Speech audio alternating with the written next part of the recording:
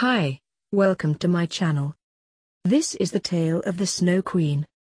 Once there was an evil wizard who made a mirror with his dark magic. If anything good or beautiful was put in front of the mirror, the reflection that showed back was only rotten and grey. The wizard laughed. He wanted to show his evil mirror to the whole world. He took it and flew up high into the sky. He flew so fast that the mirror started to shake. He could no longer hold onto it and the mirror dropped. It smashed into many tiny sharp bits of glass on the ground. The wind blew the glass all over the place. From then on, if one bit of that evil glass blew into anyone's eye, that person would see only the bad and dark in people, no more the good. So it was in that land. Years later, a boy named Kai and a girl named Gerda were friends. They lived next door to each other, both of them had their bedrooms in the attic. When they opened their attic windows, they were so close they could reach out and touch fingers. An old gutter ran between the two roofs. In the gutter where water ran through, the families had planted a garden with vegetables and roses. It was like Kai and Gerda's very own garden. Kai and Gerda's families were poor. There were no toys to play with. But they did not mind. They played in their garden on the roof, and were happy. One day, Gerda and Kai were on the roof weeding the garden.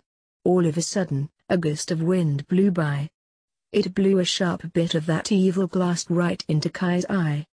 He stood up, stepping on the roses. I do not want to weed this stupid garden anymore, he said. Okay, said Gerda. Do you know you're stepping on the roses? How about a clapping game? But Kai cried out, I don't care if I step on all the roses. And I never want to play with you, Gerda. Ever again. The next day, Kai took his sled into town. Ah, that sled was so slow. A big white sleigh was coming down the road very fast. The sleigh came close to Kai and as it did, it slowed down just a bit. Kai had an idea. He quickly tied the rope of his sled onto the back of the sleigh. Now he could ride behind on his sled. But what Kai did not know is that driving the sleigh was the evil Snow Queen. The Snow Queen, in her white fur coat, had known very well that Kai was on the road. She had slowed down her sleigh when she got closer, to give him a chance to tie on the rope. She did not turn around to look. She knew that Kai was speeding along behind her. Soon he would be near frozen with cold. Then, she knew, it would be easy to make him hers. The Snow Queen drove on. When she knew Kai must be bitter cold, she stopped the sleigh. She went up to the boy. You want to ride behind my big sleigh? said the Snow Queen. I can make it so you do not feel the cold. Kai shivered. I will give you one kiss on your cheek. Then you will no longer feel cold. Kai nodded. She kissed him on the cheek. He no longer felt cold. Now, one more kiss, said the Snow Queen. With this one, you will forget all about Gerda and your family. Before Kai could say anything, the Snow Queen had kissed the other cheek. She laughed and said, If I kissed you a third time on your forehead, you would die. But I have things for you to do for me back at my palace. Then she got into her sleigh and drove on. Kai did not return home that day or the day after that. You can imagine how upset everyone was. They said Kai must have drowned in the river. Gerda ran down to the river. She called out to the waters rushing by, Is it true? The river would not say. Gerda took her off her red shoes and held them up. She said she would throw her red shoes into the river, if only the river would give back Kai. But the river would not let her throw in the shoes and that is how Gerda knew that he must not be under the water. But where was he? Gerda went many places looking for Kai. She went to see a witch. The witch tried to trick Gerda into staying with her forever. Gerda ran out very fast, just in time. Then she met a crow. The crow told Gerda that to find Kai, she must go to the palace of a princess. So off went Gerda to the palace of the princess. She did not know anything about Kai. But she gave Gerda warm clothes and a beautiful coach she could ride on her way. Gerda was riding her coach when a band of robbers jumped up from behind. The robbers were led by a robber girl. The robber girl made Gerda go into the back of the coach. Then she took the reins. And Gerda was her prisoner. Poor Gerda. She had lost her coach. She was a prisoner. And she had no more clue than ever where to find Kai. The robber girl took Gerda back to the house where she lived. Gerda must sleep in the barn, in a corner next to a reindeer. When the robber girl had left, Gerda cried out, "Oh Kai, where are you? Two white dove birds up high in the loft of the barn, heard her cry. Said one dove to her, We remember seeing that boy Kai you speak of. You do? said Gerda. What a sad day that was, said the other dove. That was when the Snow Queen drove by on her sleigh. The boy Kai was riding behind on his sled, very fast. We were sitting in our nest, said the first dove. When that evil Snow Queen passed by, she turned and breathed on us. The dove could not finish, and the other one said, Only my brother and I lived after that.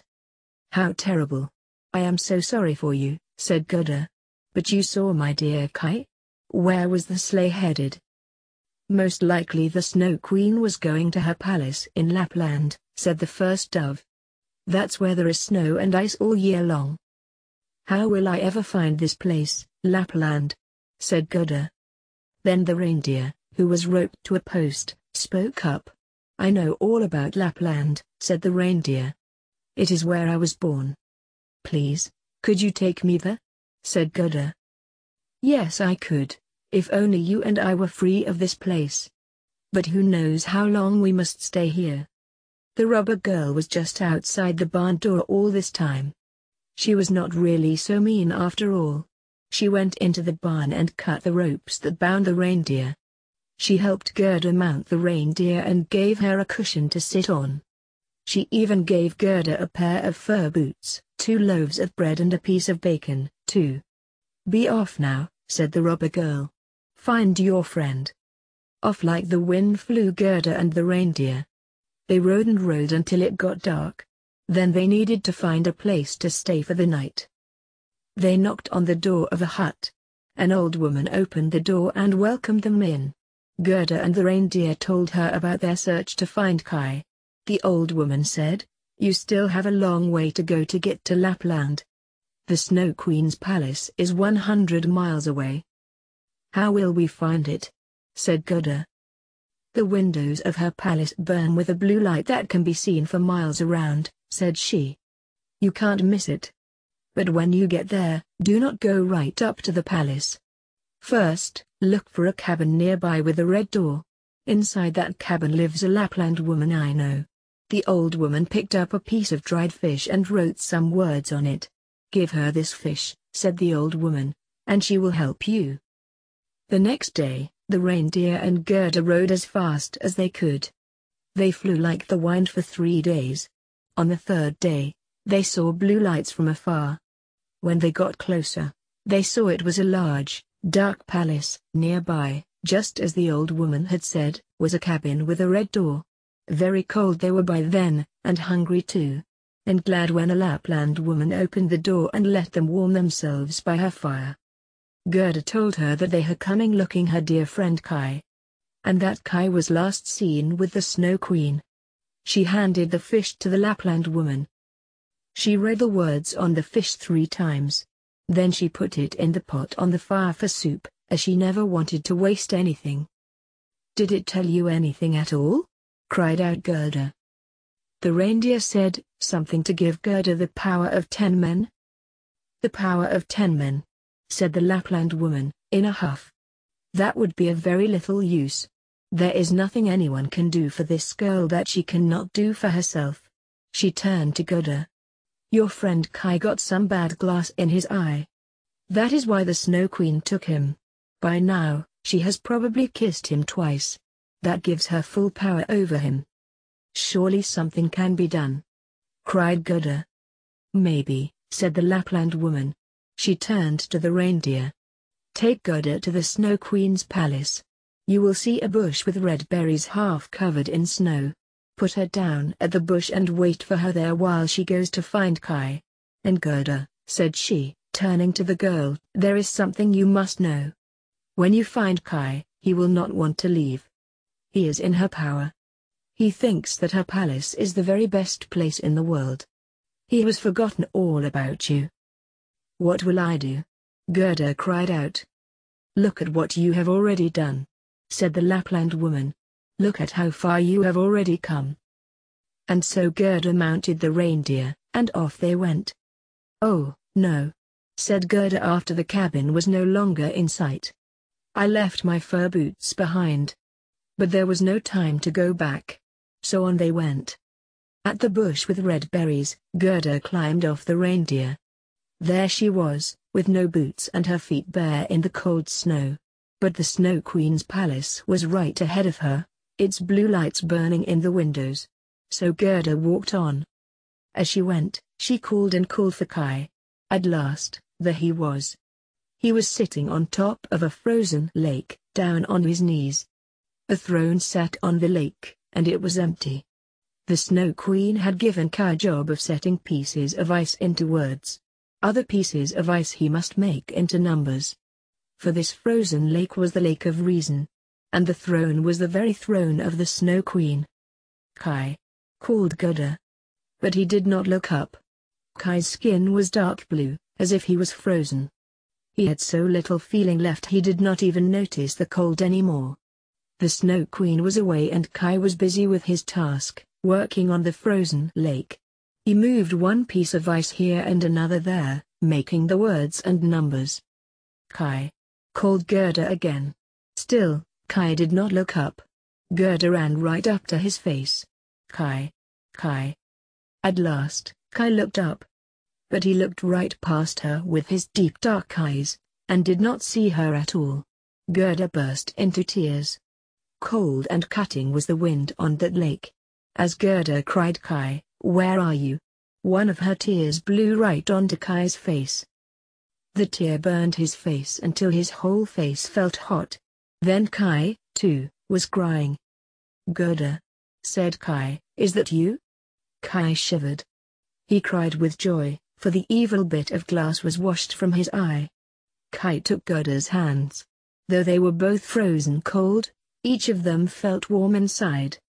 Gerda and Kai walked hand in hand back to the bush with the red berries, where the reindeer waited. As they walked, the sun came out and warmed and dried them. The wind stopped and birds started to chirp. Before they knew it, there was the reindeer, in front of them. The reindeer took them back to the first old woman, who gave Gerda a new pair of fur boots. Each of them got a fur hat, too. As the reindeer carried them on a long road back home, who came along the road with the robber girl. She was riding the coach she had taken from Gerda, but Gerda was glad to see her, just the same. The robber girl said to Gerda, so this is the friend you traveled all the way across the world to save. I hope he was worth it. They all smiled. The robber girl said they should hop on her sleigh and she would give them a lift home. By the time they finally got home, it was summertime. Much to their surprise, they were all grown up. In the years that came to be, Gerda and Kai stayed the best of friends. There were no more adventures with the Snow Queen nor the cold frozen north, and each lived a quiet life. But they knew deep down that no matter what, they would always look out for each other. The end. If you like our video, kindly subscribe our channel. Thank